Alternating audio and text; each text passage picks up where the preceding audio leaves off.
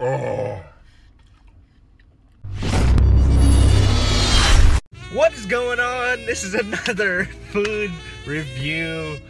Any sorts of food, whatever. So, whatever. This is the food. Burger King just released something really new.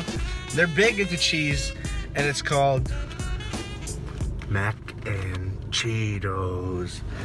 And it looks good. The commercial made it look really good, so why not try it? Hopefully, they'll do this for a long period of time. If it's really good, I'm gonna get more. So, I got two. So let's try it. First time. Let's do this. If you don't know what it is or if you haven't seen it yet, it's uh, Cheetos filled with mac and cheese inside. It looks like it's kind of deep fried or whatever. So let's try this out.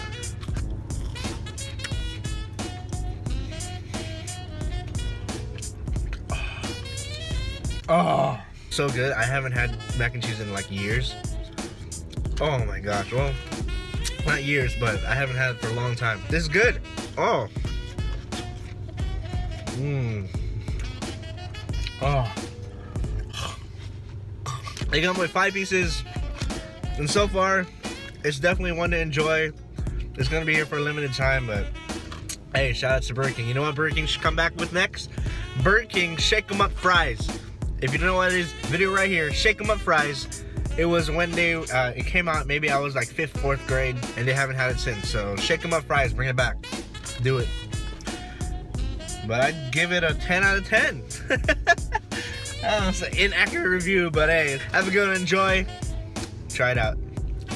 Mm.